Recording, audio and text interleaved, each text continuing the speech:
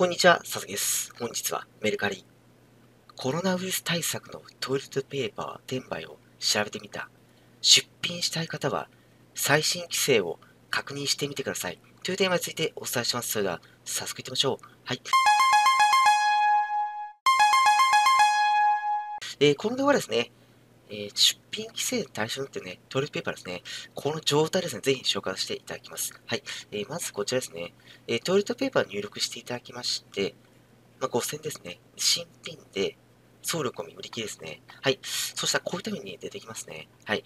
で、今現在ですね、トイレットペーパーなんですけど、まあ、いろいろありまして、実際はですね、まあ、例えば、まあ、これはね、あの、極端になっていくんですけど、これを見ていただくと分かるんですけどね、もうこういったようにですね、え通常値段よりも高く出している方はですね、全部ですね、削除ですね、これ。通報されてますね。はい。はい。なので、トイレットペーパーで販売するときはですね、できればですね、えメルカリに一度ね、連絡して出品していただいてね、適正価格で販売していただければ問題ないかと思うんですけど、まあ、かなりね、高額出してるので、これ、おそらく全部削除されてると思うんですよね。だからぜひね、出品の時はね、注意していただければね、いいかと思います。はい。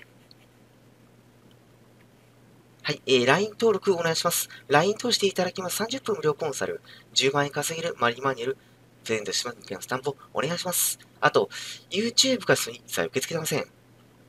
LINE と登録をによろしくお願いします。本日は最後見ていただきありがとうございます。番組登録お待ちします。よろしくお願いします。ありがとうございました。